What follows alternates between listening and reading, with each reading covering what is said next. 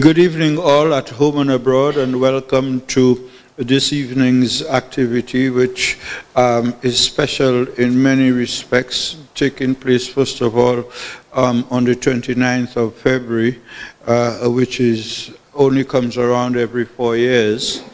Um, also taking place on the first weekend after the end of a month of observances of St. Lucia's uh, 45th independence anniversary.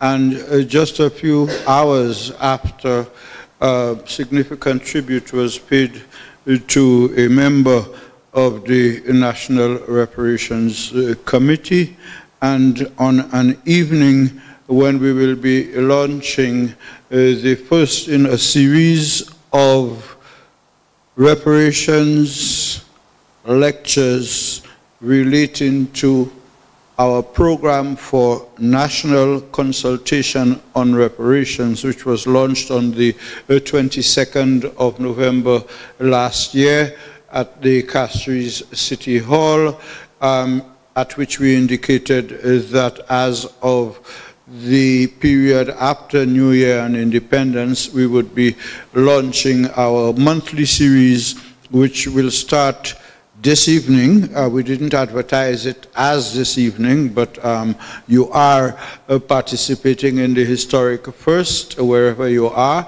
And um, this evening, we will be making a special uh, presentation, which will be repeated uh, not in uh, form and format, uh, but in terms of thematic follow-up having to do with the uh, struggle for, uh, the continuing struggle for reparations and the fact uh, that it is now 10 years since uh, the Caribbean community, CARICOM, uh, has been striving to make a case for reparations for, from Europe for slavery and native genocide in the Caribbean.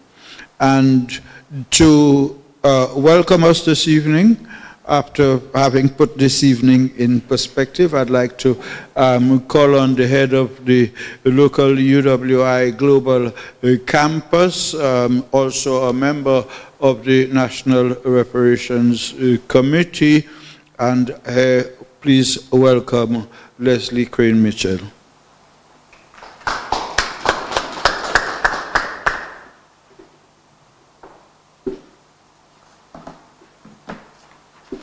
Good evening, ladies and gentlemen, and a special welcome to Monsignor Dr. Patrick Anthony, who is here with us this evening.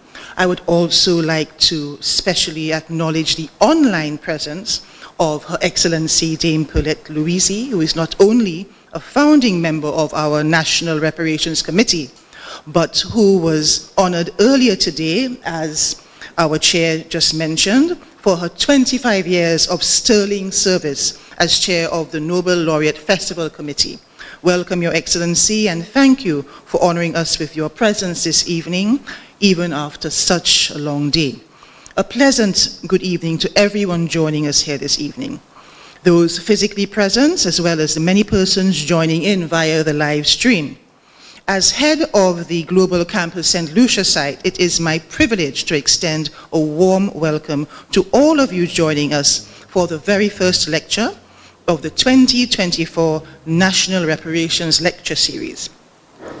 The UWI Global Campus St. Lucia site has had a long association with the National Reparations Committee from its inception over a decade ago. As a founding member of the committee, we have had the honor of supporting the work of the committee, in particular, leveraging the technical capacity of the UWI Global Campus to assist with online presentations to the general public, as well as an outreach program to school children across the region, of which the NRC is particularly proud. The UWI is no stranger to the fight for reparations. Voices such as those of our Vice Chancellor, Professor Sir Hilary Beckles, Chair of the CARICOM Reparations Committee, and renowned author of Britain's Black Debt, and more recently, how Britain underdeveloped the Caribbean, and also Professor Verene Shepherd, current director of the Center for Reparation Research at the University of the West Indies, have for decades been raised in the call for reparatory justice. Their voices has been raised in the call to account for the forced displacement of over 12 million people from the African continent by European colonial powers and over 350 years of enslavement and unpaid labor by them and their descendants, which made a significant, significant contribution to the rapid development and accumulation of the wealth held today by European nations, private corporations, and individual families. And side by side with them has been our very own Honorable Ambassador Dr. June Soomer, an indefatigable reparations champion who continues to advocate for equality and equity in sustainable development, particularly in the Caribbean region. Her recent ascent to the prestigious position of chair designate of the Permanent Forum on People of African Descent speaks volumes regarding the esteem in which she is held globally. An extra special welcome to our campus, Ambassador Soomer. We look forward to your presentation this evening and to the lively discussion that will inevitably ensue upon its conclusion. Welcome again to you all. Thank you.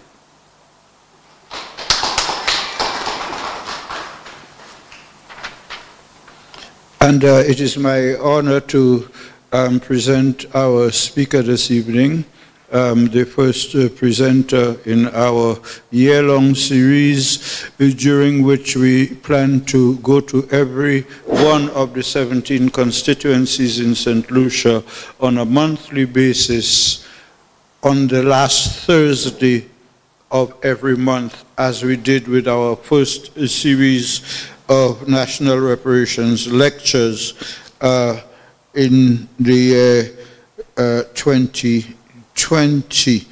Um, I was just remarking to Dr. Soomer that this is the shortest bio um, that I've seen of her. Um, and um, it is my pleasure to uh, let those of us who don't fully know who is going to be speaking to us this evening about what. I will first let you know um, who is going to be addressing us and, of course, on what and why it is important that this topic that is being presented this evening to St. Lucia, the Caribbean, and the whole wide world through the World Wide Web is one that will significantly contribute to a better understanding and appreciation uh, by Caribbean people, in this case St. Lucia, of what really is being fought for on their behalf over the past 10 years by governments, none of which have undertaken a national consultation. Um, as we speak, there is a regional consultation that um, has already started, uh, but um, as with our a featured speaker often being described as the June of firsts because of the number of firsts that she has scored. Um, what we are doing this evening is launching the process of taking the reparations issue to the people on whose behalf we are seeking reparations and St. Lucians will have the first opportunity to say to us and to the governments that represent us and the people what their views are. And through these sessions to put questions to our presenters who will come from a wide range of um, subject portfolios associated with reparations. So, who do we have this evening? Excuse me. Um, Honorable Ambassador Dr. June Soomer, SLC, St. Lucia Cross, holds a PhD in history from the University of the West Indies. She lectured at the University of the West Indies and universities in the United States and uh, worked at the Eastern Caribbean Central Bank between 1996 and 2006. That's an entire decade. She was St. Lucia's plenipotentiary ambassador to the OECS and CARICOM with responsibility for diaspora affairs from 2008 to uh, 2016, eight years, and following that, she was the Secretary General of the Association of Caribbean States from 2016 to 2020, the first woman to hold uh, that position, one of her many uh, firsts. And of notice that she was the first woman to hold uh, these posts, like I've just mentioned, as well as the post of the chair of the Global Campus Council, a position that she uh, currently holds. And we also have to note that she's also the chair designate of the United Nations Permanent Forum uh, for People of African descent. And she was one of the two Caribbean representatives on the Permanent Forum, and she has been elected and appointed and is the designate uh, chair of uh, the Permanent Forum, um, which is expected to uh, be confirmed within a matter of weeks, um, more weeks than months. And of course, we have the fact that over the years she has received many awards, including the St. Lucia Cross for distinguished service in the fields of education, diplomacy, regionalism, and development specialty. That was in February 2021. And uh, the order of Jose de Marcelo Jose de Marcoleta of the degree of the Grand Cross from the Republic of Nicaragua in the area of diplomacy, and that also was in 2021 and a tireless advocate for the global reparations movement, Honorable Ambassador Dr. June Soomer is a, a founder member of the St. Lucia Reparations Committee, the National Reparations Committee, and a member of the United Nations Permanent Forum for People of African Descent. And her topic this evening will be the, the Brattle Report on reparations for transatlantic chattel slavery in the Americas and the Caribbean, exploring the case for reparations, justice, and equality for women of African descent. Let's put our hands together to welcome Ambassador Dr. Honorable June Soomer. Thank you very much, Earl. And let me say what an honor it is to represent the National Reparations Committee at this launch. And I invite you to Listen carefully because I want questions. It's the first time that the Brattle report is being presented in St. Lucia, I, I, at least to the public. And so this report gives us the opportunity to see the amounts or, and the valuations that have been placed on our labor and on our lives. And I go into the presentation by trying to find out whether you think that the valuation that has been given is a good one.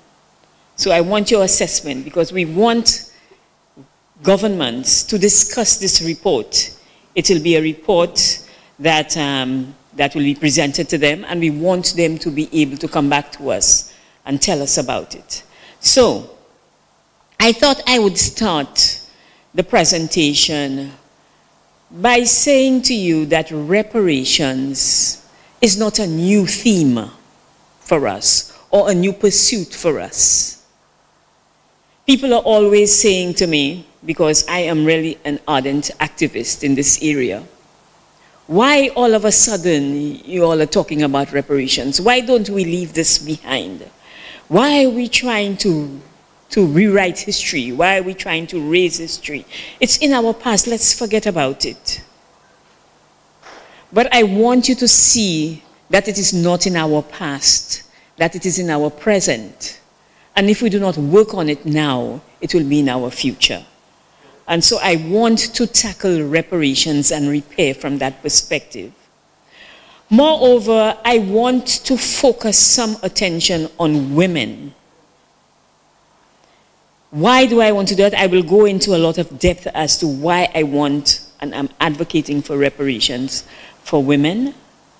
But I'm doing it because I think there has been an undervaluing of women, enslaved women, women in colonialism, and women currently that has caused, even for me, within such a prestigious report, um,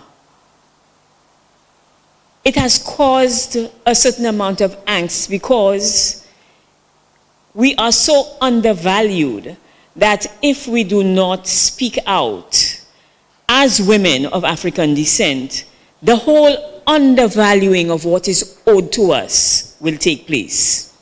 Because if you undervalue what is owed to women, what is owed to the whole reparations movement is undervalued.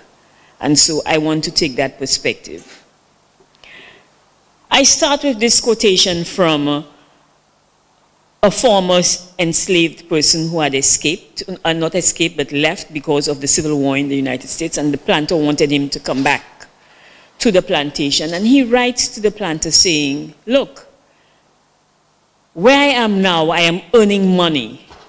So, if after serving you for so many years, 32 years, and his wife for a certain number of years, 20 years, um, if you can offer me what you owe me now, and he gives the amount. So, so we start to see amounts very early in the reparations movement. People talking about giving me back my pension, giving me a pension for the years I served you on the plantation. Give me um, what you owe me for years of free labor. And they're naming amounts. We start to see a naming of amounts very early, even during enslavement you start to see people asking for what is owed to them. So this is nothing new for us. What was interesting to me in that little quotation is the fact that he's asking for less. You see the less for what his wife is, is owed? You see the amount he's asking for compared to what he's asking for for himself? And I will go into that in, in more depth as we go along. And so I look at some of the valuations on the transatlantic chattel slavery um, to date, so what people have asked for. I give you an overview on the Brattle report so you will understand better this report that has been developed for the Caribbean. I look at specifics related to women in that report, and I ask the question, which I try to answer also within the text, is this valuation adequate? And I give you some conclusions. And so for the for, for um, transatlantic slavery valuations, we see a number of them during enslavement. And I think the first really recorded one, people have asked, asked, for them verbally, but people didn't go to court. When people started to go to court, they started to record them. And the first one we have is in 1782, when um, Belinda Royall asked for her 50 years of pension from the plantation owner. We move on to Callie House in 1890, who asked for 68 million, the same amount that was paid to the, um, to the, the soldiers who fought in the Civil War. She asks for that. And then we see Marcus Garvey later on in the 1920s asking for 1 billion for African Americans. So you start to see a different, you see it from a personal perspective, you see it from, um, from groups, you start to see it from regions. So, so you see African Americans under Marcus Garvey. And there are a number of valuations that have been done that I found between 2004 and um, up to about 2020. And um, most of these valuations focus on the United States. They focus on the United States. But you can see the range. I showed them to you because I wanted to, for you to see the range people are asking for you know, and at this stage, in, the, in, in this decade and this century, people in the 21st century, people are asking for trillions. and it has reached as high as $5.9 trillion in one case. And in the case of the last one in 2020, um, the cost of colonialism, um, HICL asks for 30 trillion for the entire period, including colonialism. The indigenous people also have a report before the UN that they presented in 2018, which calls for 5 trillion. So we can see that there's a range, but people have been trying to value this. And it's not an easy thing to do, but it certainly is something that we in the Caribbean needed to do. Even in St. Lucia, we had started since the um, 1890s asking for reparation. And we have the quotation from the um, Royal Commission by, by John Quinlan of St. Lucia, who goes before the, um, the commission and says, these peasants are descendants of the slaves that were emancipated 50 years ago. And he was speaking to a commission that had been sent down to look at the economic conditions in the Caribbean. And they came to St. Lucia. And things were so desperate that the commission had to hear or receive um, petitions from the public. And this is what Mr. Quinlan said. He says the British government knows perfectly well that they, referring to the, the, the, the previously enslaved people, are entitled to just as much consideration as their masters received 50 years ago. Of the millions due the, these slaves throughout the West Indies, we in St. Lucia are entitled to many hundreds thousands. Make your amends Britisher while your chest is overflowing. I don't know the British will tell you now that their chest is overflowing, but when their chest was overflowing, they didn't give it to us then either. But I'm showing you that we always put forward a case for reparations. It's nothing new. So we come now to the Brattle Report. The Brattle Report was prepared for the University of the West Indies and the American Society of International Law second symposium on reparations under international law. So we, are, we have been talking a lot for the last 13, 10 years, but more than that. Um, but we want to make a legal case. And you must do the research and put in the work.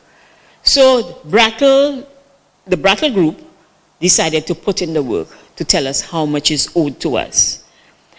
I have to tell you that the Brattle Group acknowledged from the beginning that there were some challenges, um, and so they were only able to look at things that were quantifiable. They looked at legal issues for them to be able to see what has been paid in the past, and so they can see what is quantifiable and what is unquantifiable. And it's a comprehensive outlook. It looks at the entire region, including Latin America, the United States, etc and it gives us, it goes through a process. And in that process, it concludes that the transatlantic chattel slavery was not lawful. Because people have a way of telling me, but slavery was legal at the time. The Brattle Group has concluded, and we're talking about lawyers, economists, a whole group of people, that transatlantic slave trade was unlawful. Okay? And that's a very good first step for us. And so if we now say that it was illegal, then restitution must be the next step. Restitution must be the next, next step for us to be able to, to um, mitigate, get rid of, etc., the, um, the challenges that we face now. And if not mitigation, then reparations or compensation, which is what they had paid to the, the um, former slave owners. And so that report determined that compensation had to be paid by the former slave um, holding states for the wrongful act of the transatlantic chattel slavery. That's the overview. And the Brattle quantification is historic because for the first time, you have an available scientific and well-argued quantification of reparations due for the, the um, transatlantic slave trade and for chattel slavery. In, as I said, it was comprehensive in the Caribbean, Central America, South America, and North America. I told you before that um, Brattle indicated that the report was divided into two parts because there were some things that were quantifiable and there were some things that they could not quantify. And these things that were quantifiable included loss of life and uncompensated labor, loss of liberty, personal injury, mental pain and anguish, and gender-based violence. So we can get reparations for these things. But because they cannot quantify the other things, then there's a challenge. It means from the onset that you don't have a full picture of a, a, a valuation then because there are, so, there are some limits. So things like intergenerational trauma that we speak about all the time, they say it's unquantifiable. Loss of identity. I mean, I can quantify that for them if they want. Loss of identity. Loss of family. How can you not quantify loss of family and things like that? You know? When you go to a, a, a, a psychiatrist because you have been traumatized, isn't there some way of quantifying it? I figure there is. So they are saying because of that, they have been able to come up with two sums that need to be paid by all former slaveholding states. And so for the period of enslavement, you have 107 trillion US dollars, and for the post-enslavement period, 22 trillion US dollars. I am not too sure that's enough for, and it's one of the things I question, for systemic racism that continues to oppress people of African descent, 22 trillion. I know some people are saying, wow, June, but that's a lot of money. You know, how are they going to pay us if it's so much money? Let us um, not worry about that yet. It is not our debt to pay. So let us talk about what is owed. I'm trying to to not preempt you with, with your questions, but try to, to bring some clarity as we go along. And, and the other limitation of the um, Brattle report, and I have to say that they tell you these things up front. They don't hide anything. It's a very comprehensive report. The report does not address the earnings of plantation owners, so what they have earned from the plantation. They, it, does not, um, it does not address banks a lot of banks supported, we know banks like Barclays, for example, supported the slave trade. Insurance companies like Lloyds of London, you know, and other entities that profited from the transatlantic chattel slavery. And they tell you this is a work in progress. They're still gathering the data. So the, the 107 trillion and the 22 trillion might increase because we might look at these other people differently. Now, with the overview, you, I, I, because it's such a big report, I try to just focus on the CARICOM countries. So I pull that out of the report. And so the estimated reparations amounts for CARICOM countries for enslavement, you can see these amounts here uh, in billions of US dollars, and as well as the, the countries that have to pay. So for example, in the case of Antigua and Barbuda, you have a certain amount that Britain has to pay, you have some for Belize. I couldn't understand the Belize one, so, so I'm not sure that I can answer a question on it. The Virgin Islands, the islands that are, called the British Virgin Islands, but don't call them that because that's not their legal name. I was just in the Virgin Islands and they, they, they insist that you call them their legal name, which is the Virgin Islands and not the BVI. So please don't call them the BVI. Um, Dominica, Grenada gets from Britain and France, Haiti gets from France, and you see the amounts in billions of US dollars. And then we come down to St. Lucia. I have to tell you that when I saw what they put in for St. Lucia, I behaved like a St. Lucian. I said, eh, eh, what happened to the French? For my entire life, I learned seven times British and seven times French. We even make it romantic by singing about it in songs. So where are the French in our reparations claims? And I have told Earl on more than one occasion, I am not letting the French get away. So we have to do the work now ourselves to make sure that we put in the amount that the French owes to us. And you can see for all of the countries the amounts that are owed for enslavement. And then we go to the amounts that are owed to the CARICOM countries in the post-enslavement period. You can see it again in billions of dollars. Barbados is 51 billion. Um, the Virgin Islands is 3 billion. Mind you, they're still trying to take back the Virgin Islands. Um, and right now there's a whole, and, and that's one of the things that we have to recognize when we are doing reparations. I find it harder to talk about reparations when there are still countries that are colonized in the Caribbean. And we're talking about post-enslavement sums. We cannot do reparations without doing decolonization. And that is also one of my, uh, my pet peeves, that there are still colonies in the Caribbean.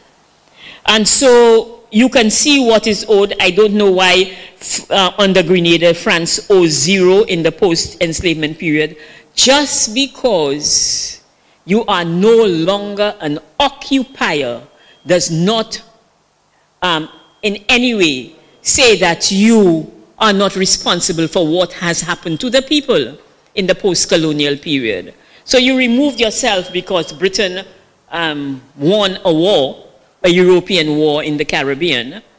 And uh, you say to us, you say to the people of Grenada, oh, well, the French left after the English took over, so they are no longer responsible for giving you reparations in the post um, enslavement period. I do not agree. And we can argue that as we go along. And the same thing for, for the other countries, St. Lucia, is getting from Britain. Again, where is France?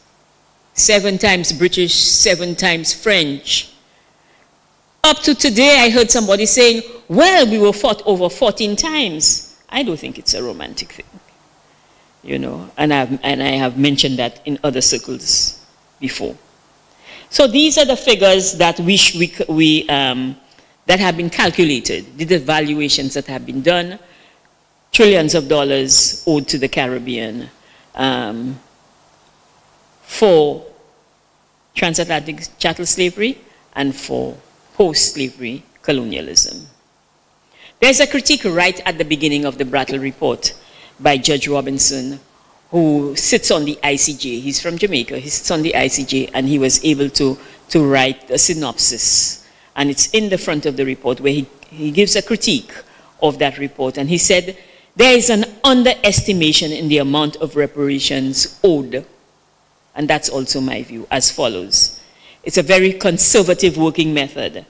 And, and, and the challenge for, for the Brattle Group is that the numbers are not always there for you to make the estimation. But we know how many people came out of Africa. We know by now on the, of the underdevelopment of Africa because of the removal of key able-bodied women and men. Because they didn't go to Africa to take old people. They took people who were in their productive years and reproductive years to be able to bring to the Caribbean to work.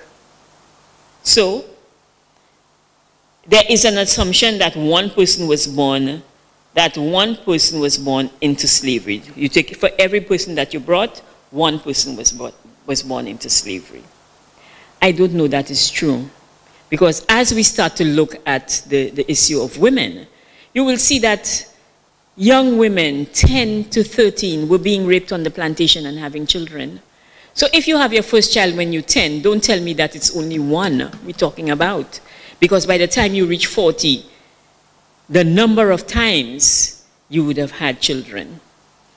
Okay, maybe early in, in, in, enslavement, there was not an emphasis on reproduction, but once the slave trade ended in 1807, we had to reproduce the slaves or the enslaved. He also says it's very, it's very conservative, um, it was very conservative in fixing the interest rate. The interest rate, because quite apart from the amount they calculated, they also put in an interest rate. And the interest rate is at 2.5%. He's saying that is very conservative because already they were saying 3% was very low. And they went as low as 2.5%. So he's asking, you know, for us to, to review that because it underestimates the total reparations due. And he also says that the, the harm inflicted on the enslaved are not fully captured by the five quantifying areas. Remember I showed you before loss of life and all of these issues, um, gender-based violence and so. He's saying that these five issues do not capture all the harm that was done to the um, enslaved people. He's also saying that they use something called wealth disparity to look at the, um, the, so they look at, for example, what is the wealth of Britain as opposed to the wealth of St. Lucia. They look at what is the wealth of white people as opposed to the wealth of black people in the United States. And he's saying that what the method they use is also very conservative. Because it is not just for me, the wealth part is not just about the amount of money you have in the bank, but what you are able to do. I'm not an economist, but how your one dollar multiplies is very important. So, so there's a, a, an underestimation there.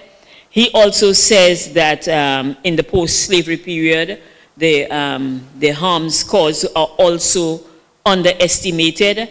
And he, but he, he concludes, however, that nevertheless, um, this report is a good, a good document or a good negotiating tool for governments because never before have they had that kind of scientific work done. So governments now have to take the next step to negotiate with the offending country with regard to reparations and whether or not reparations will be paid. But he warns us also that um, what it what it does is to just tell the victim states that reparation the reparations to which they are entitled under in, under international law. But it is and it's a good instrument for that but um, the descendants of because the descendants of the enslaved were just groping in the dark before we always talked about reparations without knowing how much you know, etc., and for what we wanted the reparations. But this gives us a good um, basis. Now, while I was reading the, the report, I had to put in some preliminary conclusions because I didn't want to wait till the end for me to tell you I conclude ABCD. And I'm saying that part of the challenge for this report is there is not enough comprehensive research on the histories of these countries so we see a lot of research, for example, on Jamaica, a lot of research on Barbados, a lot of research on these sugar, bigger sugar plantations. But there is not enough research, for example, on St. Lucia. You know the instability that happened in this country with the centuries of, of, of European wars over St. Lucia? The impact that it had on enslaved people? How are we going to not quantify these things? Simply because we have not taken the time to do the research. And there is research. There's a certain amount of research on. Lucia, but not enough for us to be able to be in the realm of countries like Barbados and Jamaica, etc. So we have work to do. And, and, and, I was hoping that at least one government official would be there for me to tell them, we have work to do, you know. Um, and for me, another issue has to do with European collaboration. So we are, we are identifying individual countries to give reparations. So let's say, let's say for Haiti, we are saying um, France. But what happened to the collaborators? What happened with those colonial governments that got together to destroy Haiti? Why are we only asking France? It was the first time you saw Europeans come together in a European Union against Haiti. France, Spain, Britain, and later on the United States to destroy Haiti and to put down what was supposed to be the first black republic in the region and in the world. What happened to collaborators? What happened to collaborators like the Dutch, who were at the heart of the slave trade and therefore had a footprint in every single one of our countries. What happened to them? Why are we not asking, people in St. Lucia not asking for reparations from the Dutch? Because the British were the last colonizers? What happened to collaborators? So that's one of my conclusions. We have to look at these collaborators. Um, no legal term, we still designate these countries overseas territories. That's not a legal term, and, and, and so that goes back to my point on colonialism and the proper language for these things. Um, and he also says, um, finally, that each destination must prepare a substantive negotiating brief to supplement the gaps, and there are gaps in the report, and they acknowledge, as I said, the gaps. And so we have to work. The National Reparations Committee has to try and fill in some of these gaps that the Brattle report um, has. Now, since, since the emphasis was on quantifiable, the emphasis on enslaved women in the Brattle report is primarily addressed under the section entitled Gender-Based Violence.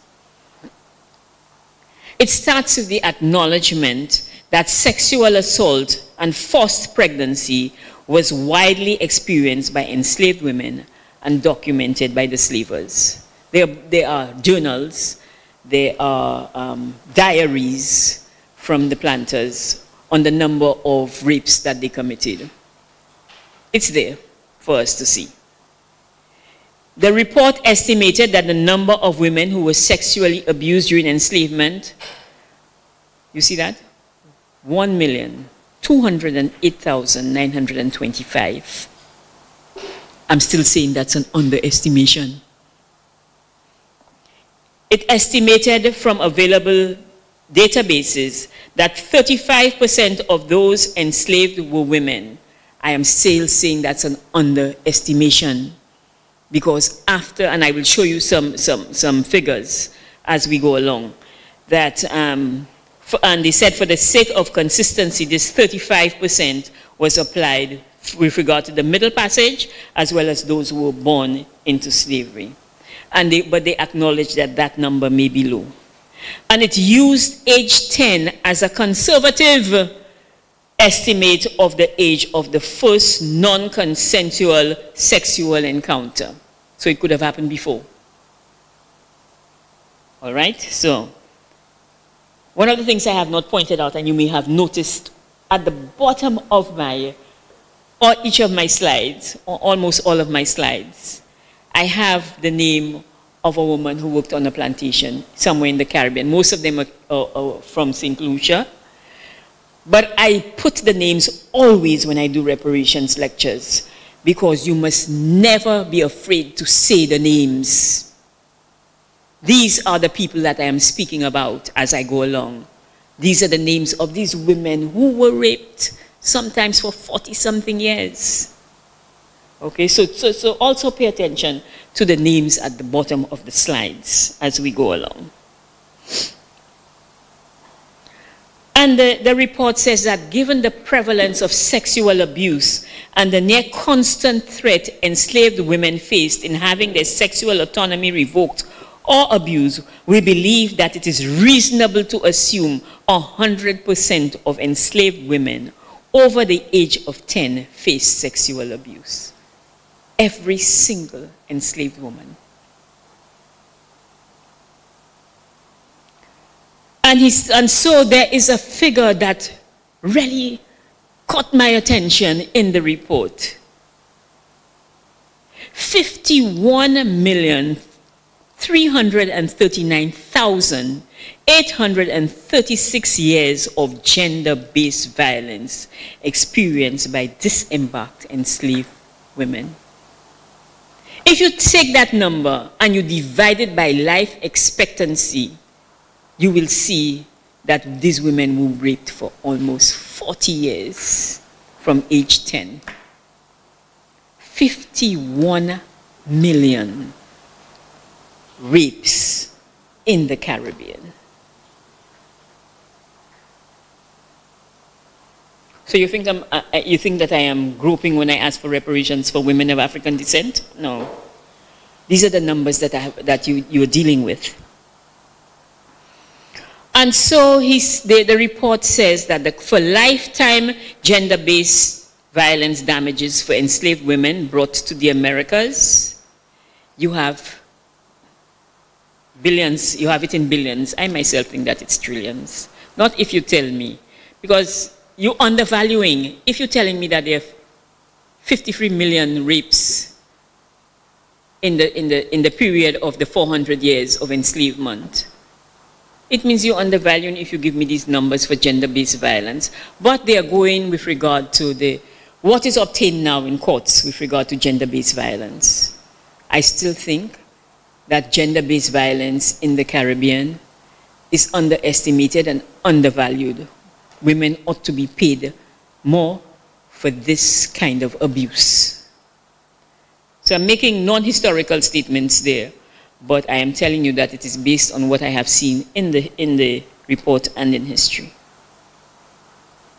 So is the valuation adequate? Has this report gone far enough?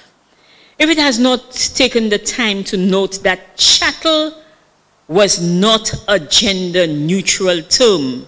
Remember I told you that this is for chattel slavery? Chattel is not a gender neutral term. We're talking about both men and women. And that if men were, if men were denied their humanity, black women were considered even less. And we are still considered even less. Firstly, whether we, uh, we are underestimating the cost of the payments due because we are undervaluing the contributions of women. So under the, the, the, the, those that they assessed, are we also undervaluing because we are undervaluing the contributions of women? So if my, if you have a, a, a man on the plantation, I was about to say my husband, though that's out. If you have a man on the plantation and you are in the post-slavery period and you're paying him five shillings, you would pay the woman for the same amount of work, two shillings. Okay? So you have a wage disparity, even if she might be doing more than him. You know? There's also a challenge because of the numbers issue, and, and I'll get to that.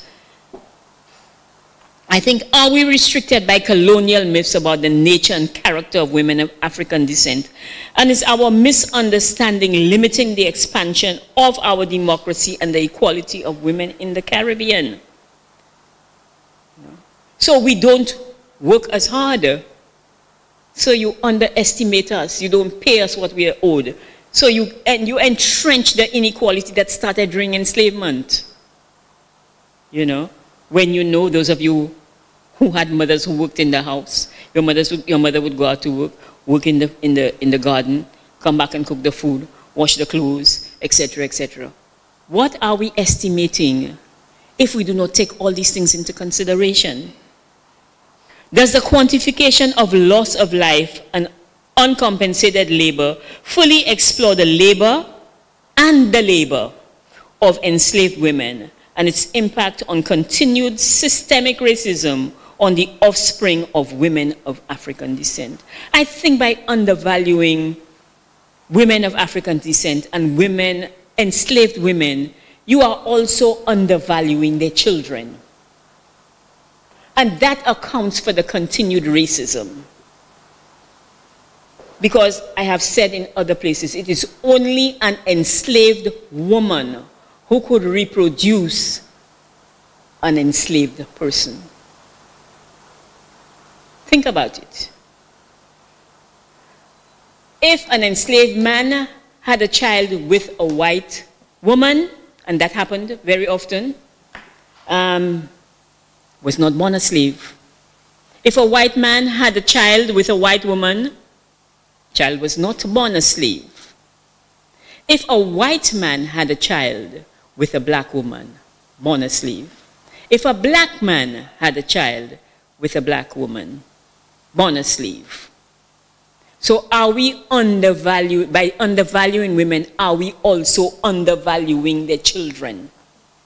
Serious question. As I said, the grouping called enslaved was not a generic grouping.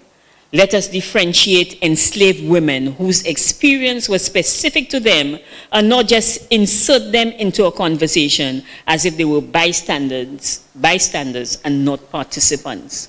We were not particip- we were not just standing by.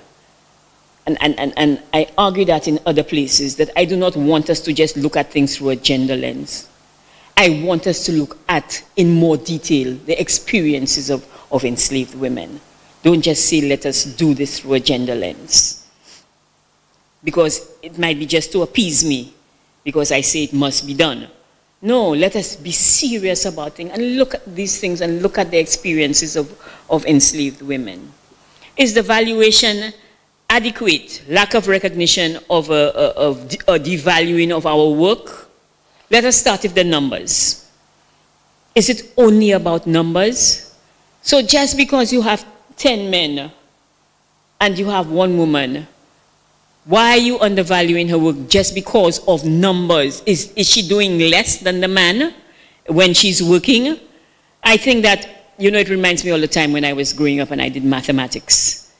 If it takes 10 men to dig a hole in four days, how long will it take to dig the hole? I would say to myself, just bring in two women. And the work would get done. You wouldn't pay, pay them all that money. So I'm saying that numbers are not the only thing, but the quality of the work that you did and the value of the work that you did. And um, I'm saying also that there's a misconception because by emancipation, and the British themselves wrote it, that, that um, and other people wrote it. For example, Rhoda Reddock wrote it, that um, women worked more in the fields and were equal on the things like the whip. So why weren't we equal with when pay came along?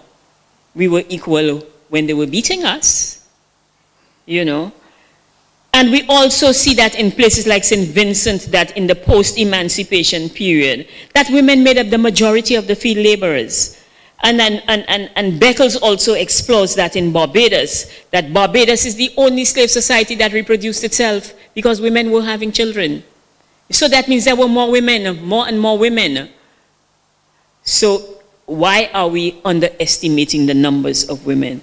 And in St. Lucia, for example, because I always look for the St. Lucian bits um, as I do these things, um, um, Father Jesse wrote that um, during the, during the wars between, one of the, the last wars between the British and the French, yes, there were 400 men fit to bear arms, but there were maybe four times that number of women. So we were also on the front line, not only in the plantations, we were also fighting. We were in the maroon societies. You know, we were the ones who, who kept these maroon societies alive. We cooked the food, we planned the food because the men would go out to fight. We looked after the children, etc., in the maroon societies. And we maintained these settlements.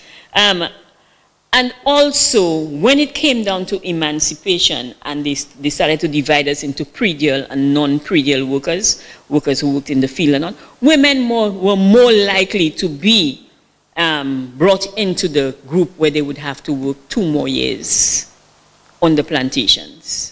So all of these things we have to consider when we are doing the, the, the valuation.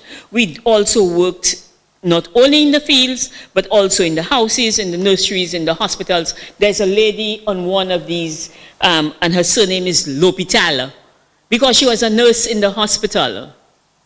And they sometimes would call them by, the, by their profession. Their, their surname would be their profession. So whatever her name is, L'Hopital, was a nurse. So we know that there were a variety of jobs, even if they kept us from the most jobs considered more skilled. And to a large extent, this undervaluing, I believe, is because of patriarchy. Black women were not seen, have only been seen as physical beings, not thinking beings. That assignment was left for white women. And so you can understand why, when you look at the corporate ladders, white women are going up and black women are staying at a certain level because we are not the thinking people because of our race and our gender. And patriarchy, to a large extent, has assisted in the devaluation of women. And patriarchy was learned from white men. black men behave the way they behave because patriarchy was learned from the um, colonialists. And we have to recognize that. Is the valuation adequate? I'm asking why again. Why am I asking that? Because of the lack of specificity of women. Women in the text are usually examined alongside men or alongside white women. Women of African descent don't have their own identity within the text, and that is part of the devaluation. And so there are a number, and I have to give credit to a number of intellectuals who are going below that veil to look at women and what they're doing, on what they experienced during enslavement, but it's still not enough. We have more to do. I'm asking why again? Because of the continued discounting of childbearing during enslavement. Say, oh, it wasn't important to bear a child because they could replenish from Africa. But after 1807, it was important. It was important to the point where they used some of these people that were born into enslavement to, to um, colonize other countries, to set up plantations in other countries like um, the late um, colonies like Trinidad and Tobago, Guyana, and so on. So, it was important. There's also the myth that women of African descent have a higher pain threshold. It has been written that because we have masculinized bodies that we can withstand pain. And so they did a lot of experiments. That data has to be there for you to understand what has been done to women with regard to their health. It has to be there, so we have to find it for us to be able to see how the, the slave owners collaborated with medical posts. And it's written, it's actually written in medical books to the point where even today, when black women go in to have babies, they don't want to give them anesthetics because you can bear the pain. Why are you bawling? You know, these are things that we have to get rid of. Um, so I'm saying surely this evidence is there and that we need to be able to look at it apart, apart from being just loss of labor. So it's dealt with in the text as loss of labor. So you're having a baby, so that's loss of labor. No, there are other things attached to, to it. And I'm telling you this because even up to, to, to 2023, the report of, published by the UN on maternal health of women and girls of African descent, of African descent in the Americas, It says, Afro-descendant women and girls in the Americas are disadvantaged before, during, and after pregnancy. Afro-descendant maternal deaths in particular are alarmingly high in both absolute terms and, one and once compared to other groups, non-African descendant groups. Structural racism and sexism are evident in maternal health disparities that exist across income levels, and national and regional borders. Racism and discrimination by medical pro providers increase the likelihood that women and girls of African descent will experience mistreatment in maternity care.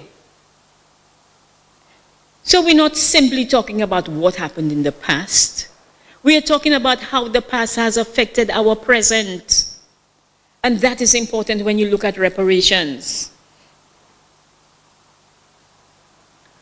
Moreover, I think that the enslavement destroyed the image of African people of African descent, especially women, and has entrenched patriarchal constructions of a woman's body that perpetuate ridicule of the black female body and defines what is beautiful.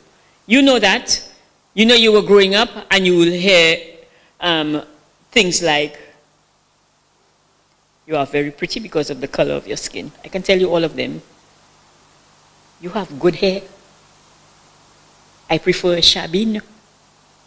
You know, all of the colorism things that we, we, we take for granted, we don't realize where we have learned them and how they continue to affect us. So, black women are not supposed to be beautiful you know. And I think that has perpetuated the gender-based violence against women. because there is this, and the rape of black women, because we are supposed to be hypersexualized.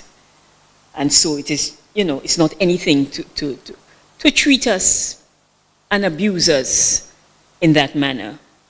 And that has resulted in a lot of self hate. And so you see a lot of the things that people criticize now, whether women have weaves or how much makeup they wear, etc., black women, that is only because black women are managing a marginalized identity. You have always been told that the person with the long hair was the pretty one. You understand why they're bleaching? Because it is the fair skinned women who attract men, not the dark skinned women. So you have to manage this identity that has been marginalized over centuries because people have always told you that black women are not, this, um, are not desirable. Very important. So is the valuation adequate? The Brattle report ensures that it listed its limitations from the beginning and that there are some things that are not quantifiable. I accept that. Some figures within the report are quantifiable, but I think are too conservative. I think that there are gaps in the research and the research needs to continue.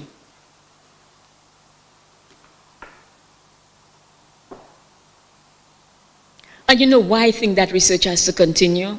I think it's because there's a systematic approach of dehumanizing African women, which started in the 17th century and which set the tone for the continued devaluation of women of African descent to this day. I wrote that in an article that I presented. Earl had asked me to present uh, something, and I entitled it Stiff Back Spines, the Militancy Defiance and Plain Speaking of Enslaved Women in St. Lucia in 2007. And that devaluation continues today. I hope that after this lecture you become more aware of these things as you go through um, your daily life in St. Lucia. I also think that by locating women of African descent in the reparations dialogue, we give them back their humanity.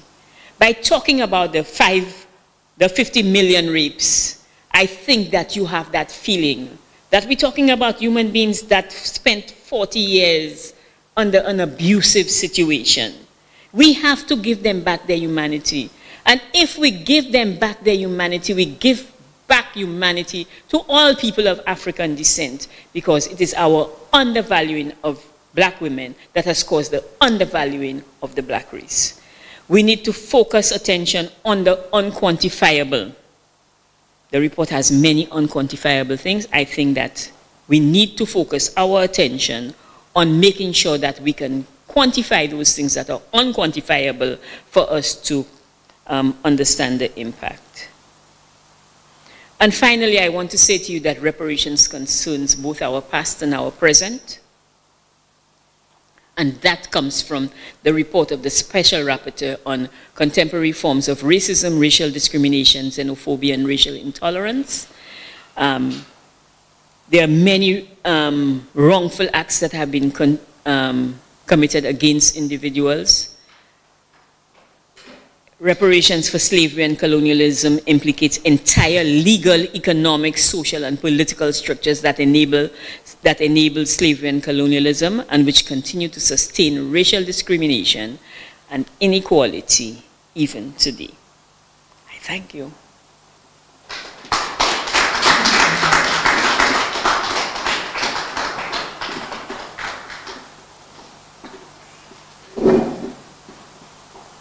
Thank you, Honorable Ambassador Dr. Soomer, um, for this comprehensive brief analysis of the Brattle report, uh, its history, its historicity,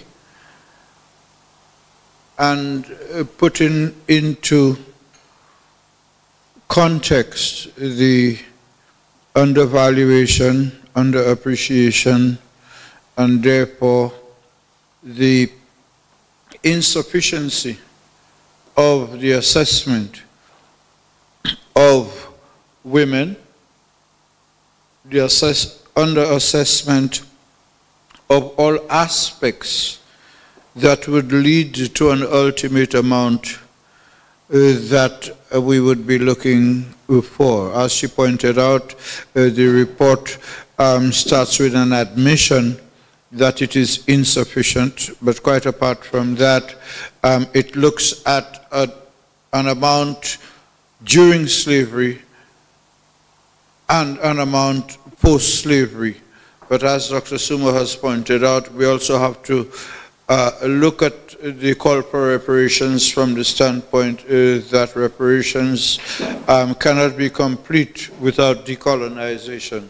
So it is a, a very comprehensive assessment, and um, Dr. Soomer has uh, thrown out uh, some important uh, challenges um, to us and uh, to the authors of the Brattle report that notwithstanding their admission of insufficiency, there is still much work to be done, research to be continued, and therefore uh, this is what we are looking for by way of the launch as of this evening of uh, the first in our series of consultations on reparations.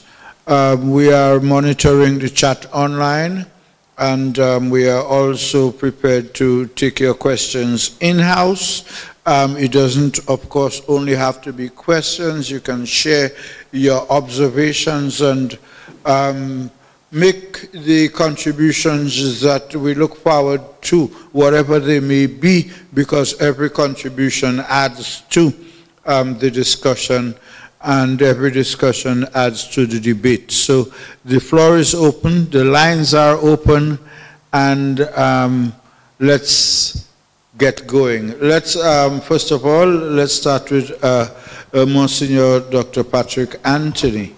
Thanks, um, Ambassador. A uh, few things. Who initiated this Brattle report? What's the origin of it?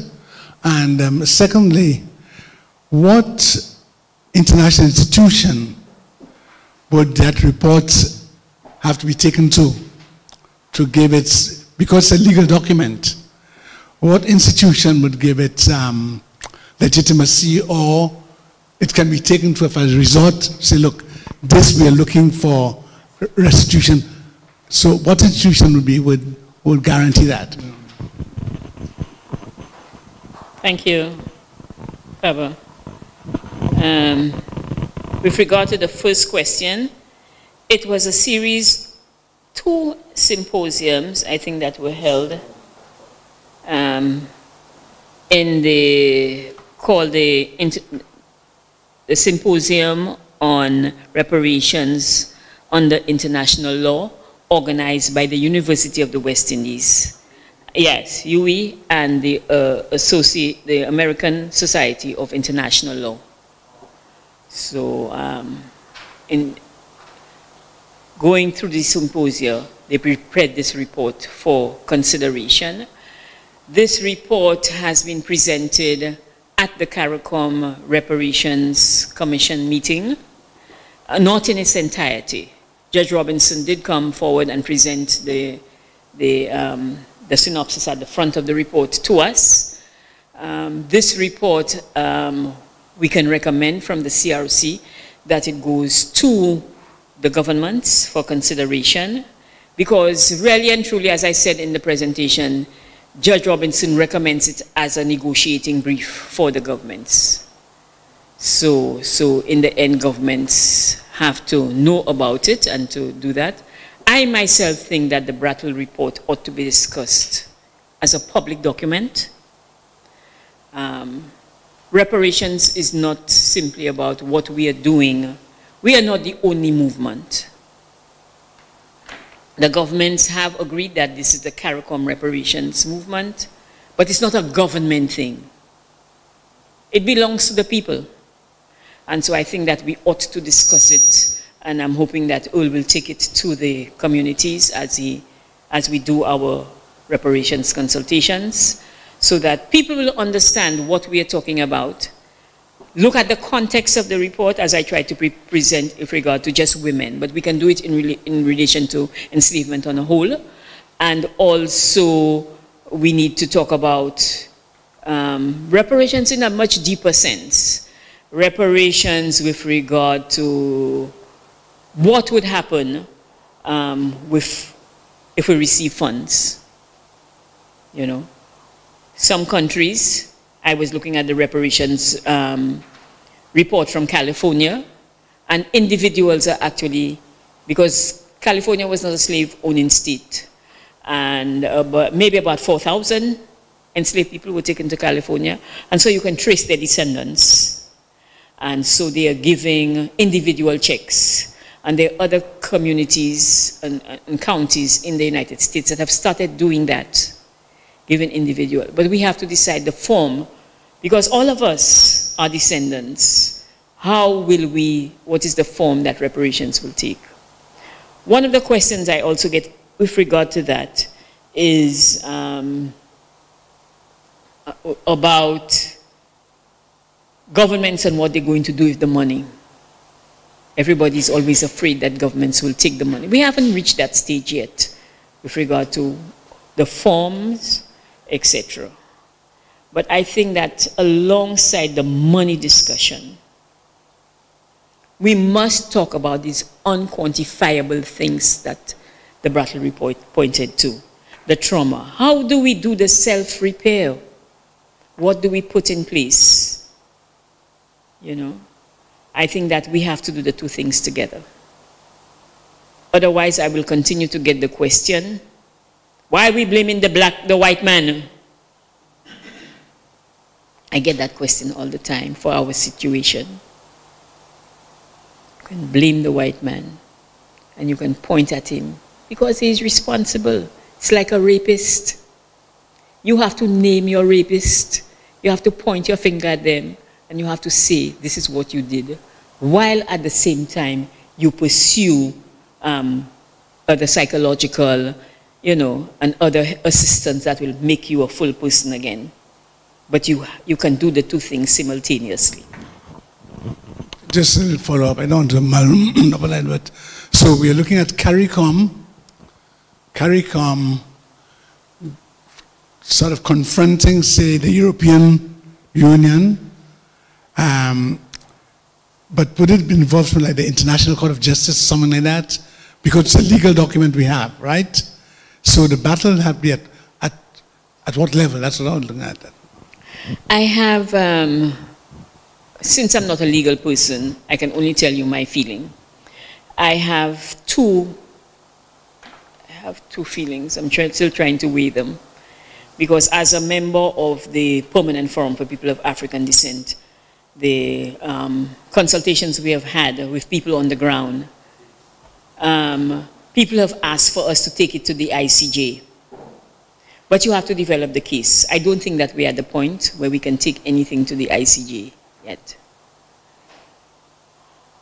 But I think at some point we have to get some legal body to say, yes, you need to pay reparations. Still no guarantee that people will pay reparations, you know, but I think you need to take it into the legal sphere. And I have to tell you that a lot is being done in that regard. Last year I attended a, a study tour from a group of jurists from Africa that came down to the Caribbean and we met in Barbados to talk about reparations and what we were looking for. So we're looking to build a case. This year the jurists are meeting in uh, Africa and they bring in Caribbean jurists to that meeting for them to discuss. So the steps are being taken to build a case before we can go to the ICJ. Now, so I'm, I'm happy about that. I'm conflicted because the ICJ is still a colonial court. That's my conflict. It was set up at the end of the, um, the Second World War. It wasn't set up to serve us. In fact, the only people that have gone before the ICJ are black people, people of African descent, so all the horrors that you see, you know, it's only African leaders and or military people who have been taken to the ICJ. it's like been a whip on our back. So I'm conflicted. I'm conflicted. Sometimes, so then we have to ask ourselves then, if we take it to the ICJ and the ICJ say no, maybe because of the duration, you are not entitled to um, reparations. What is our next step? So we have to plan all of these things. So I don't think we're ready to go to an international court yet.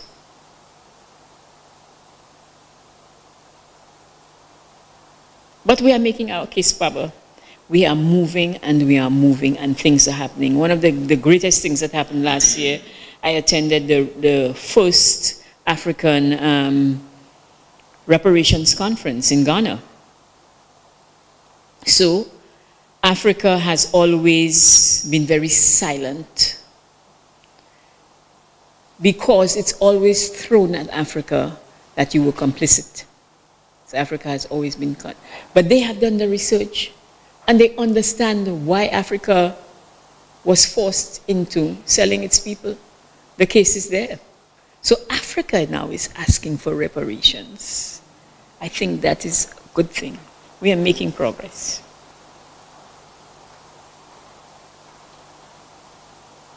You have a question? I saw your hand go up.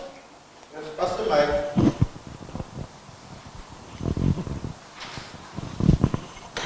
Good evening, Dr. Um, Ambassador Soomer and colleague Earl Monsignor and members here. I want to make kind of a statement and then come to about three questions. One, I have been following the reparations committee for quite a number of years. I've sat on a few committees with you and Earl.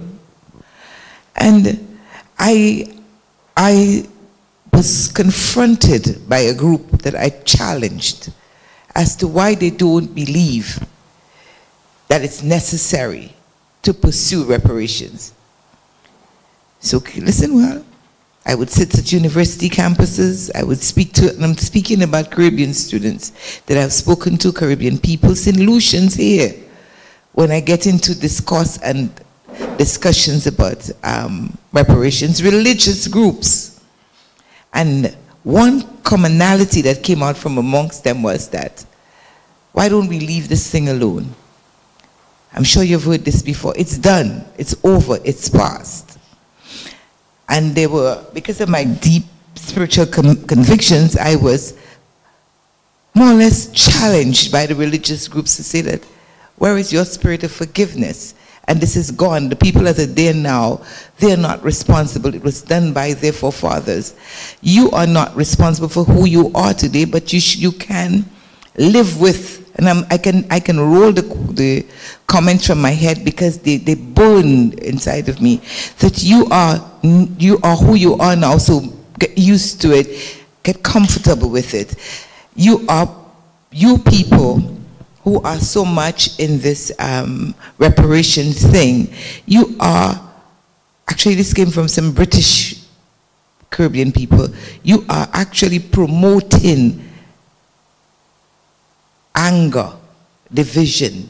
You're promoting racism, rage between the races because those white people today are not responsible for what happened. So are you going to tell me, the argument was even made, would you say to me that if my father burnt your house, must I pay you? I say, of course if you have the money. In fact, I want your house.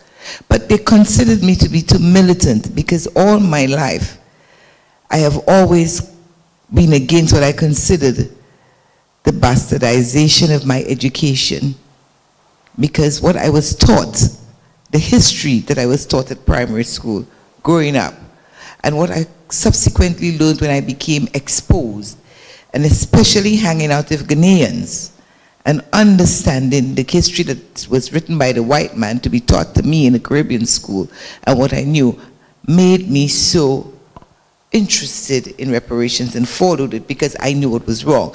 And I find it so interesting and want to learn more and more. And I do not believe that you're, we are, or you are promoting division.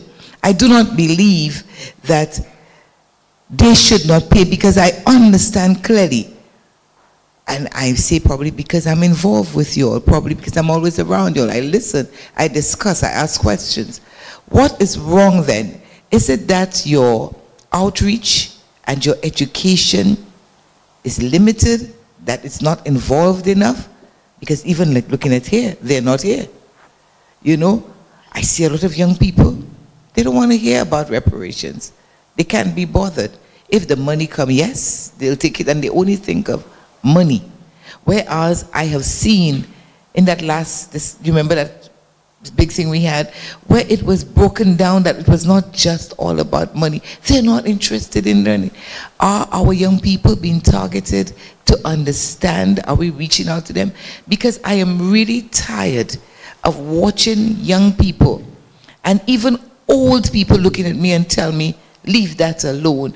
I am tired of going around and meeting diaspora people who think that we want to interfere with the white people are there now that has done nothing to us and we who are trying to make peace with us with black people and we are interfering with them and we're forgetting is the black man is the white man that asks for um, especially the British they like to say that that ask that ask for um, emancipation you know so honestly I have found myself very upset, angry, challenged, especially with the religious sect who think that reparations is really an evil.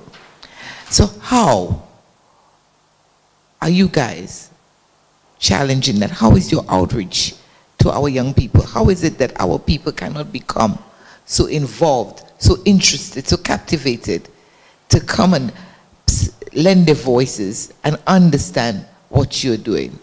That's my question. Thank you. Thank you. The fight for reparations is not for the weary. It's not for the weary because it will take a long time to undo the education, the, what did you call it? The bastardized education system that you, you know, went through. It will take a long time to do it. But I can tell you that all hope is not lost because young people are coming on board with regard to reparations. Maybe they're not here tonight because all of them are online. All of them wanted the link. So we had to, Leslie had to send them the link. So maybe they are listening online. But even if they are not, the National Reparations Committee, and Earl can speak to that better than me, has undertaken education programs with young people.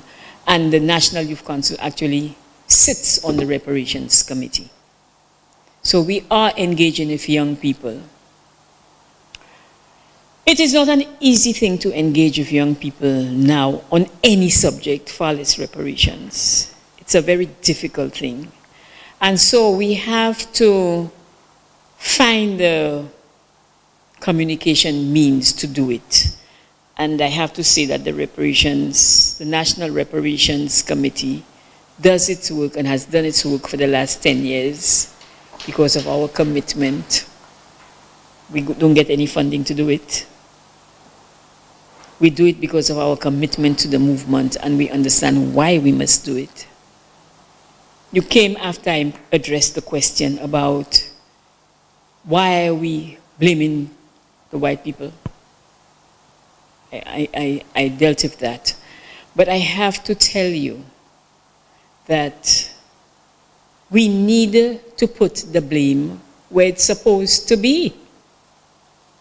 Yes, we think that, hmm, you know the counter to what you said about blaming the white man?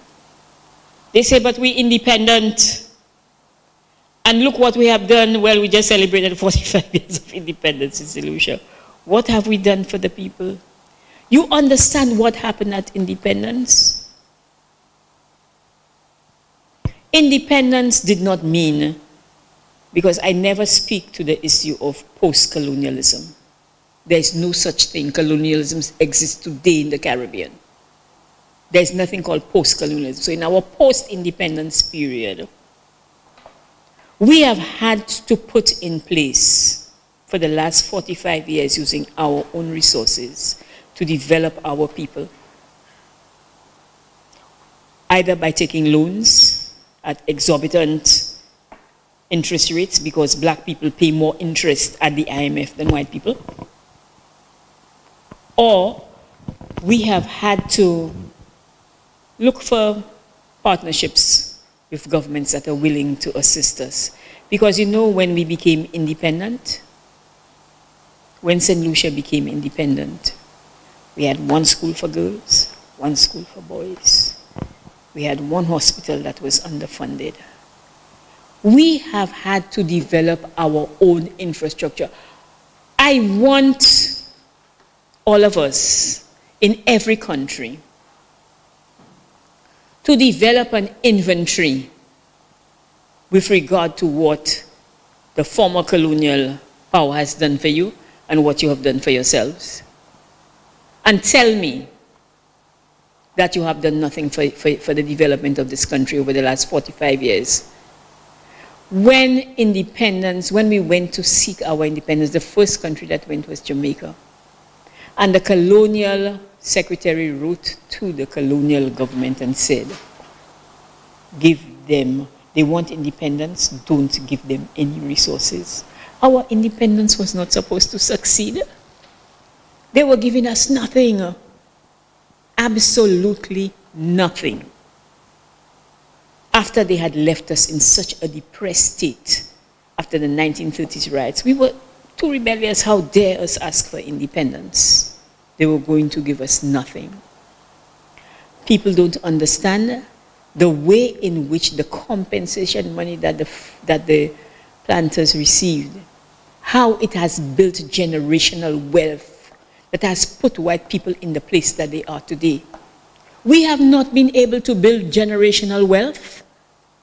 In fact, we have intergenerational poverty in the Caribbean. What I don't know how better to explain it to them. I used the, the, the, the analogy of the rapist earlier, that you must confront your rapist. They came. Extraction that took place during enslavement and colonialism is a form of rape. They raped the country. They took away all the resources. They raped the women. The 50 something million years of rape, women that were raped for, five for 500 years, etc. How are you going to explain it if people are not interested in hearing it? I leave that to Earl. Because Earl is going to go down in the communities and in his best Creole, he's going to try to explain reparations. He's bringing Pablo with him to explain what reparations is about.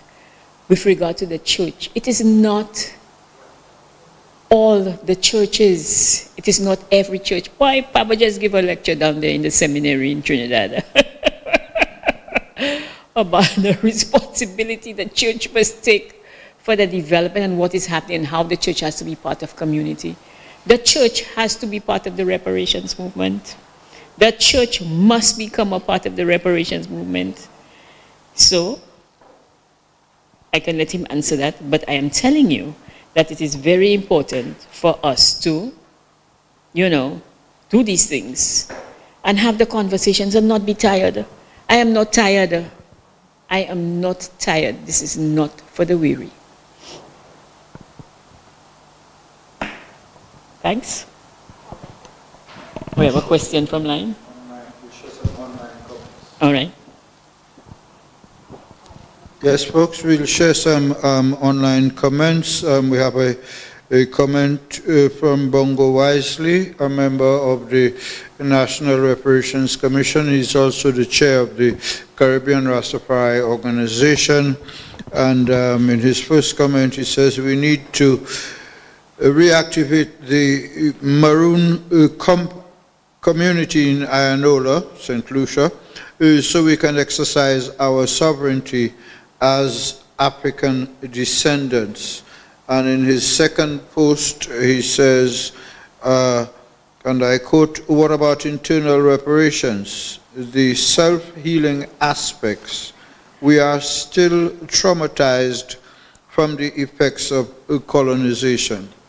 Um, another comment in our chat is uh, from, we've received congratulations from the Bonaire Human Rights Organization, and of course when um, I saw we got that message from Bonaire, I remembered um, Ambassador Soomer always uh, repeating that there is no pride in us boasting about being 14, time, 14 wars and being sometimes French and sometimes British.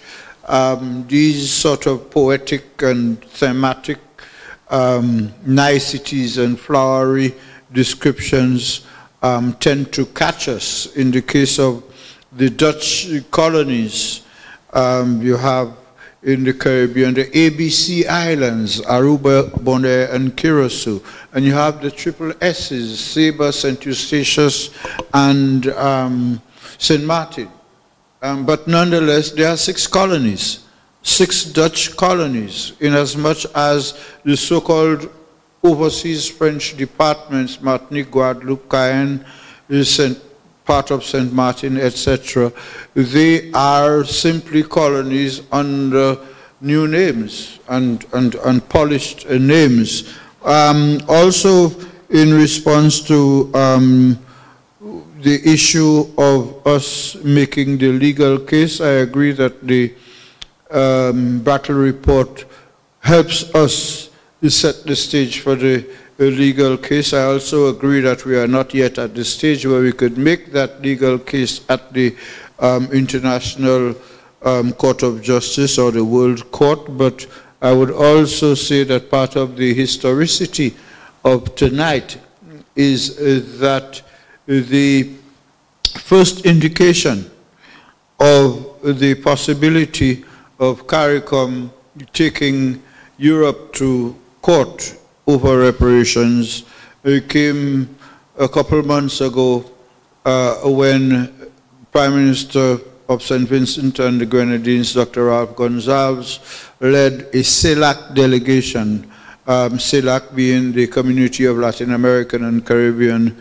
um, nations, and he being the first Eastern Caribbean CARICOM leader of CELAC, temporary in the position of temporary president, was able to achieve something that CARICOM had not achieved in 10 years, which was an audience with the um, European uh, Commission in Brussels.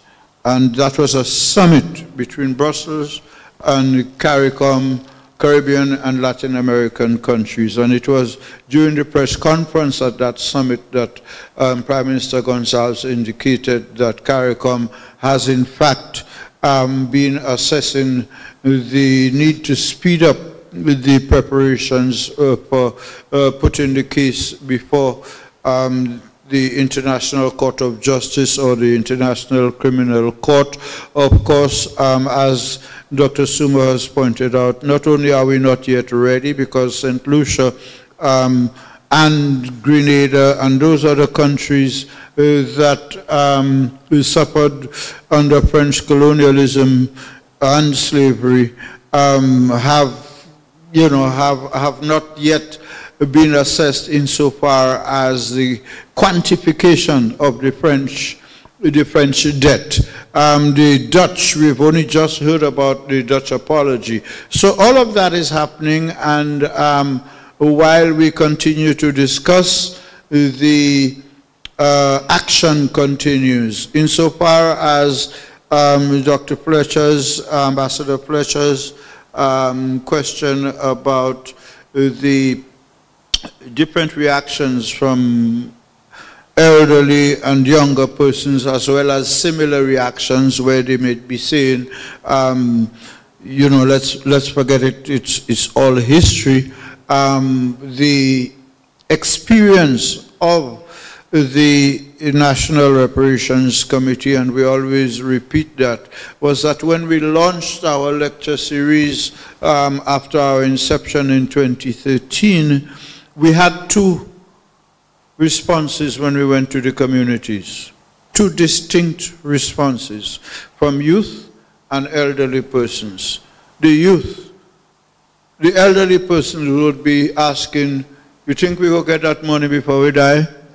You think I'll see that money before I die? It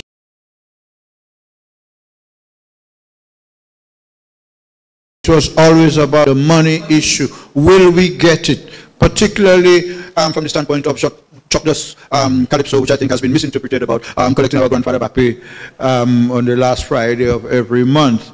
But the young people, whether at St. Mary's College, the convent, or the comprehensive schools um, that we went to around the island, to a person, the young persons would say to us, but how come that's not in our books? How come we never learn that? Let us have the links. How can we get the books? Where can we get the movies? We weren't even yet into WhatsApp and all of that, which, is, which makes it much easier now. But I think that distinct difference continues to exist, and um, what we need to do, like um, Ambassador Soomer said, is to take all of it as a bouillon you know, these are all ingredients of the bouillon that we call reparations, and um, we have to see the, even the questions that surprise us as genuine questions. And in as much as we might not have expected them to have been delivered in that way or in that form, they are genuine questions, and we look forward to many more of those types of genuine questions coming out of this consultation, not only because, like I said, we're talking about money and people will want to know, like Ambassador said, um, whether the money is going to go in the treasury for the, the government of the day to use or whether it is going to go in the hands of a, a, a neutral body with a long-term mandate of guaranteeing non-interference uh, by administrations. To what extent, we might want to ask, was the Brattle report, um, did it take into consideration Sir Arthur Lewis's um, formula for assessment of reparations, as in his first book in 1939, uh, um, which, which has been adopted as the blueprint uh, for reparations. And on the 1st of August 2020, the Caribbean community adopted the Sir Arthur Lewis formula as one uh, to follow. Uh, so we may want to find out as part of the discussions to what extent Sir Arthur's um, formula was considered by the authors of the Brattle Report in coming to a conclusion. Um, this is not to suggest that they ignored, um, but it would be good to know to what extent um, Sir Arthur's formula 82 years ago, or more than that, apply or would apply today because it was not based on um, just the values of the day, um, but it is a document, Labor in the West Indies, 1939, by W. Arthur Lewis. Um, what it indicates is uh, that this is a formula that can be applied, you know, you know, in, in, time immemorial because it is not based on dates and times but based on a formula. Um, are there any other questions or do we have any other comments online? Oh yes, we have another question. Can you give her the mic? Oh yes, sorry, go ahead. Um, I need to sit, so that's fine. Um, oh, I lost the point I was going to make. All right what we, historically we have not been teaching history. So that a lot of young people are growing up not knowing the history of the Caribbean. And we need to consider what is in the mind space of our Caribbean young people. Is there space to consider all those things that you're talking about that they have never learned and they're hearing for the first time? I'm coming to the point of whether you need to be in the schools to do something about the teaching of history and making people familiar with those historical circumstances so that the mind, mind space of the Caribbean child will hold some of those things and therefore have a different kind of response to what you're trying. Um, I learned history when I was at school.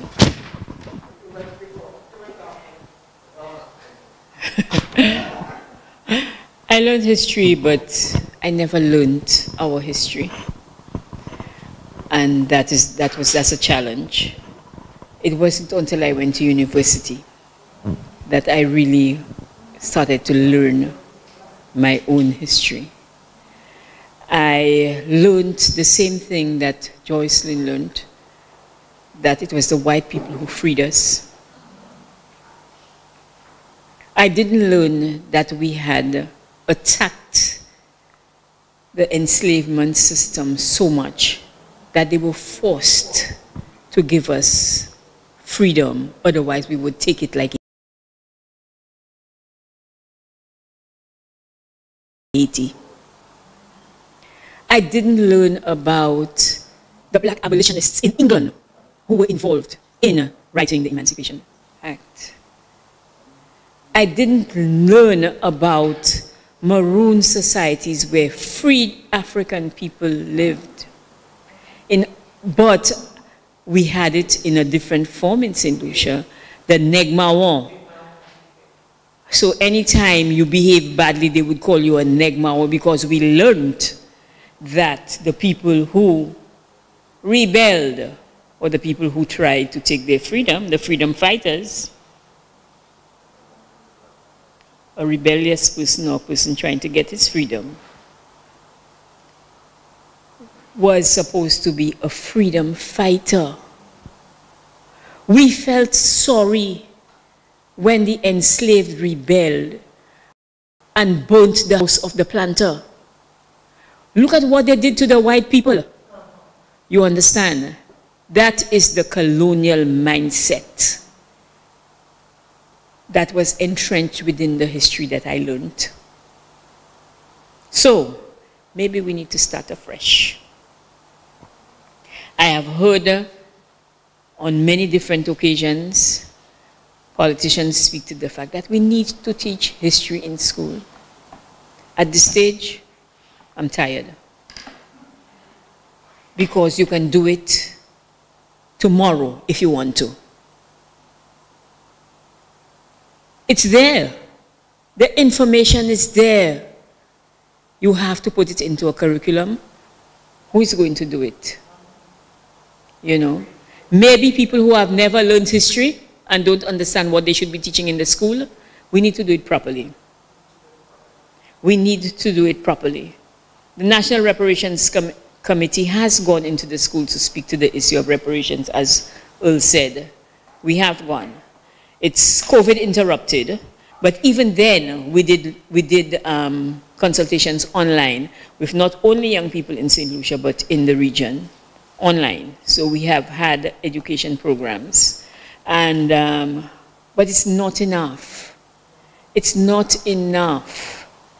You know, it has to be, we have to take a more strategic and sustainable approach to doing it. So people like me will, will call me all the time to assist, but it is a small committee. We want all of you all. One of the reasons why I do these lectures is because I want more women on board in this reparations thing, you know. I think if women took control of it, that we would, it would be more widespread. We'd speak about it in our homes, amongst our families, etc., etc. I think that um, the reparations movement has not attracted women the way it should, and more women, and that's why I do so many reparations lectures about women and women, enslaved women. Not that I am discounting at all enslaved men. I just want it to be a fuller picture. I want the specificity of women in the history. So I don't want history to be taught in any haphazard way in our schools. And I am here. I'm willing. I am able. Any other questions? Yes? Yeah, the voice of the Rastaman. Yes, Rastaman. Yes. We've been at the focal point of reparations. And I want persons in the world to know they should not they shouldn't at all disregard our contribution to the world at large as the Rastafari community. Because we were in the forefront of reparations and crying for reparations from day one, from existence. We cried, we cried, we cried, we cried, we cried. We cried, we cried, we cried, we cried. But finally, our cries were heard. And all over the world, we're hearing about reparations, reparations, reparations. And I'm happy to be here today to witness the launch and this lecture, the Brattle report. It's very interesting. It has a lot to offer, but at the end of all, we have to do it together because we've been clamoring all the time and people now respecting our voice. And the United Nations is saying, do not underestimate the contribution of the Rastaman. And I'm saying to date, the reason why the globe is not in chaos or topsy-turvy today is because of our contribution. And we will not stop there. We will support every aspect of reparations, even reparatory justice in-house. Yes, because we'll suffer the brunt of what we call reparations. I'm happy to be on board with the Reparations Committee on behalf of the Archaeological and Historical Society, which came into existence in 1954. I'm happy when people talk about his local history in schools. It's time, it's overdue. As the General Secretary for the St. Lucia Archaeological and Historical Society, I spoke with the Prime Minister when we had the only emancipation activity in St. Lucia in 2021 at the annex at the Anglican community. They came the Prime Minister, he visited the exhibition, and we said to him, we need to be focused. We need to have our history is taught in the schools. Rest assured, we will do it. We're beginning to work on it already, and our society is working towards that goal. Because without our history, without where we're from and where we're heading to, we are always doomed to fail. And that's what it leads to. So I can assure this lady that made mention of history in schools, yes. Because we cannot be teaching the foreign history and not our history. When it comes to our indigenous rights as individuals and as communities. Yes, it's very important because the Maroons played a major role as indigenous people. We should work towards establishment of our Maroon communities in St. Lucia, yes, and beyond. And I'm saying to the globe that we are alive and we continue to work towards the ultimate goal is reparation and also reparatory justice and also healing which comes with reparatory justice and reparations. Thank you. We acknowledge the, the, the work. Reparations has gone through many phases, as I said in the, in the presentation, and the phase in which the Rastafarians um, really stepped forward and, and put it on the map um, and, the, and the call for repatriation also is something that is well noted and documented. And so we continue to acknowledge that and, and a lot of the, the repatriation movements in Africa at this time have to do with some of, a lot of the work of the Rastafarians. So um, we acknowledge them and other groups, the Pan-Africanists, etc., who have been very involved in ensuring that each phase of the movement is strengthened. Thank you so much.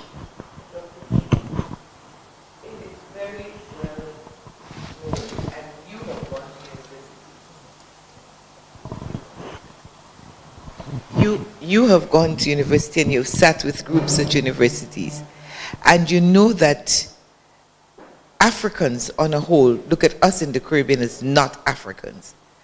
I personally have a problem with when Africa, when Caribbean people talk about Africa as their motherland and getting going back there, when Africans themselves do not recognize us as Africans.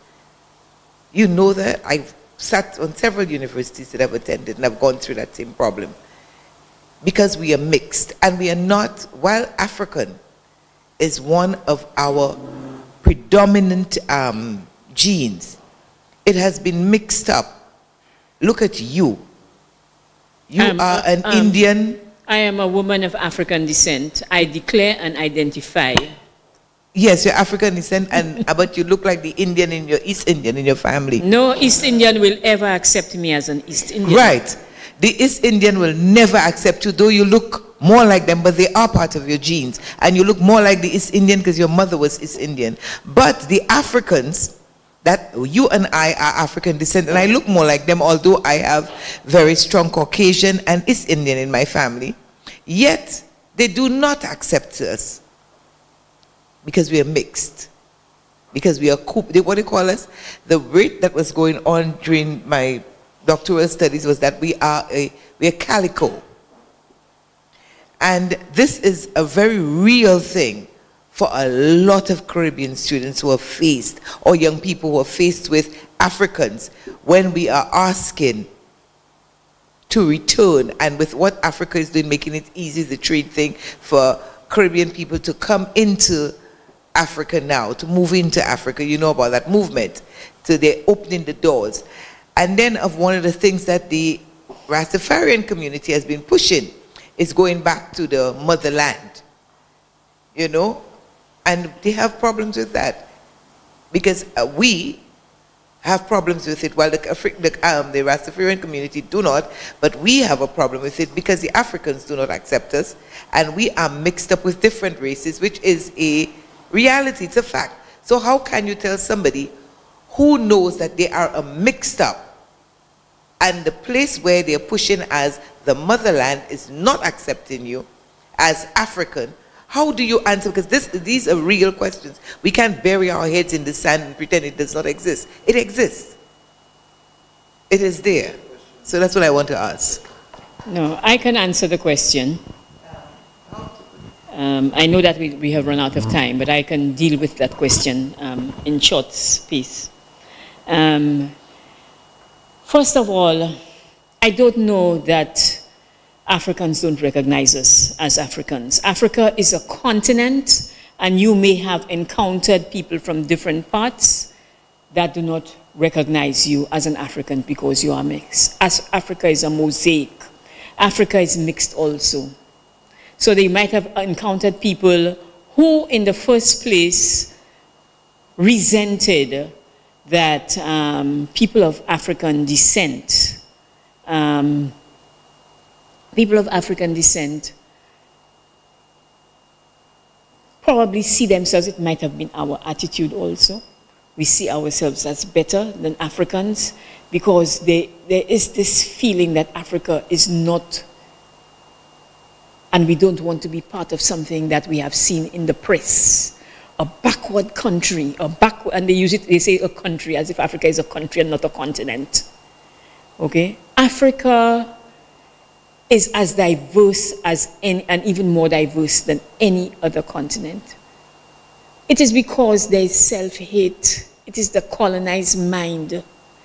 We think that what we came out of is not good enough for us to go back until you step into Africa and you see what is happening in Africa. Africa is the fastest growing continent in the world. GDP of Africa over the last 10 years has been 7 and more percent. Why do you think the Europeans are flocking back to Africa? Why do you think the Chinese are going?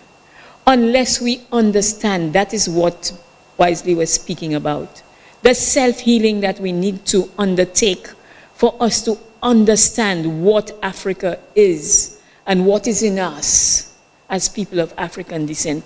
We will always think of ourselves as mixed. Every nation is mixed. The first human beings were Africans.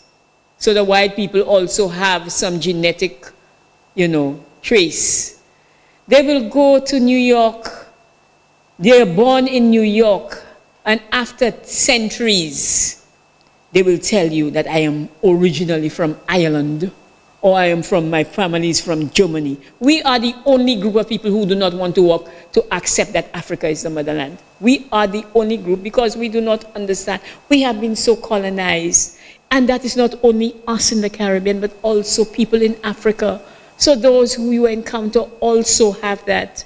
There are many successful repatriation programs in Africa right now, very many successful. There's progress being made on the sixth region of Africa, which is the African diaspora. People don't know these things, and so they say these things. I am saying that we really need to educate people. We really need to educate for them not to, you know, tell me that I have good hair because my mother was an East Indian. Nonsense. There are people in Africa with better hair than me. If it's better hair you're looking for. But what is wrong with anybody else's hair inside of hair because it does not look like mine? What is good hair? You know, these are the things that we sell and divide ourselves. You, nobody's going to separate me from what I believe.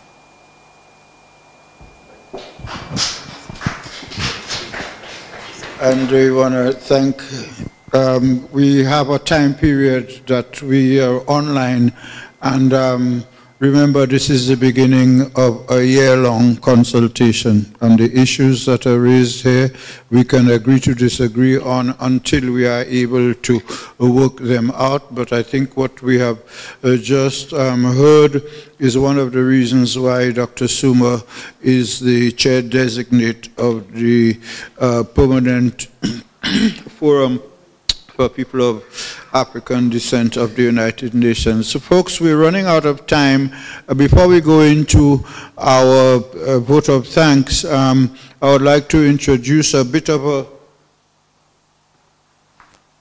a bit of a surprise element here because um, after 10 years, the National Reparations Committee has not been able to find ways to find ways uh, to earn a budget or a subvention.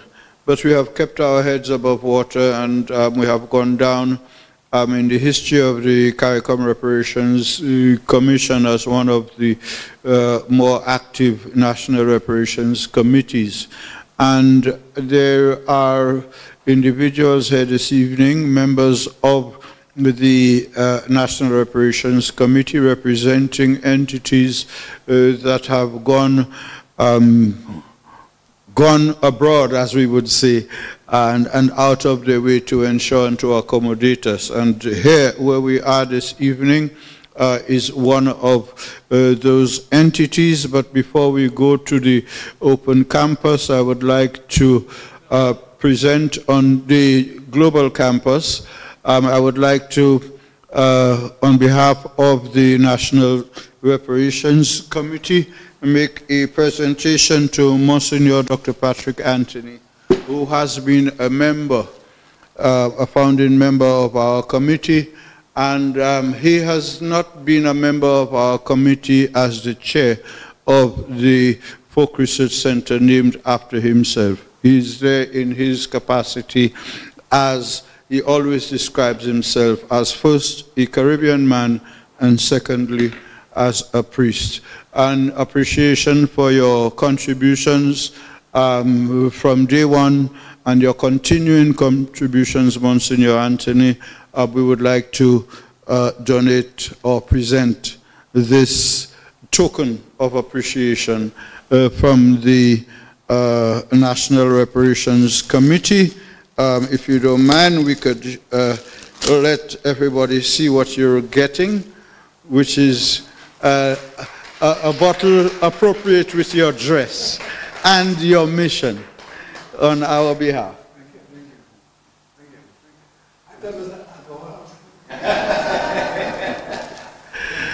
Um, um, earlier today we presented one to Dame Pearlette Louisy and um, um, she did note that when she held it, it felt empty.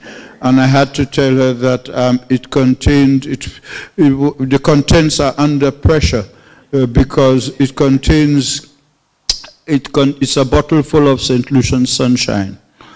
So don't open it. Um, secondly, I'd like to invite um, Ambassador Soomer to join me um, so that we could make a presentation uh, to sorry, to the head of the uh, local unit which started off as the UWI Open Campus here, one of the places where we had our very first activity. And the then Open Campus was the and continues to be an entity that has done everything to accommodate everything that we have asked them to do as part of us. And Leslie Crane Mitchell, as the head of uh, the local unit, has always been uh, open to um, ensuring that our requests are met. And I would like to ask um, Ambassador Soomer, who is also the chair of the global campus subsequent to our cooperation with the open campus. Um, so we would like to ask Ambassador Soomer to hand uh, this bottle over to uh, Leslie Crane Mitchell. Leslie, the um, global campus deserves all the sunshine it can get at this time. we too have been under pressure like the sunshine in this bottle. But despite that, you all have always stepped forward to help the NRC. Um, I cannot think of an occasion when we called on you, whether it's a meeting we have in an emergency meeting, a lecture, or anything, that you and your team have not facilitated us. And we could only undertake the kind of education program that we have undertaken, both in the schools and in the public, because of the global campus. And it's not because I'm the chair, it is because of the commitment that the team here um, has demonstrated over the last few years. So thank you very much, and we look forward to continuing our good work with you.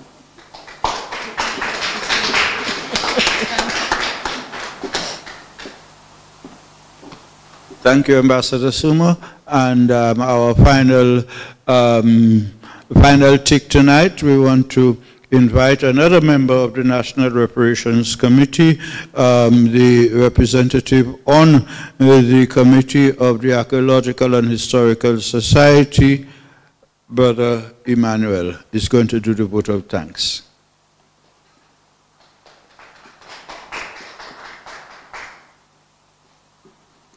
I want to say good night to ones and ones.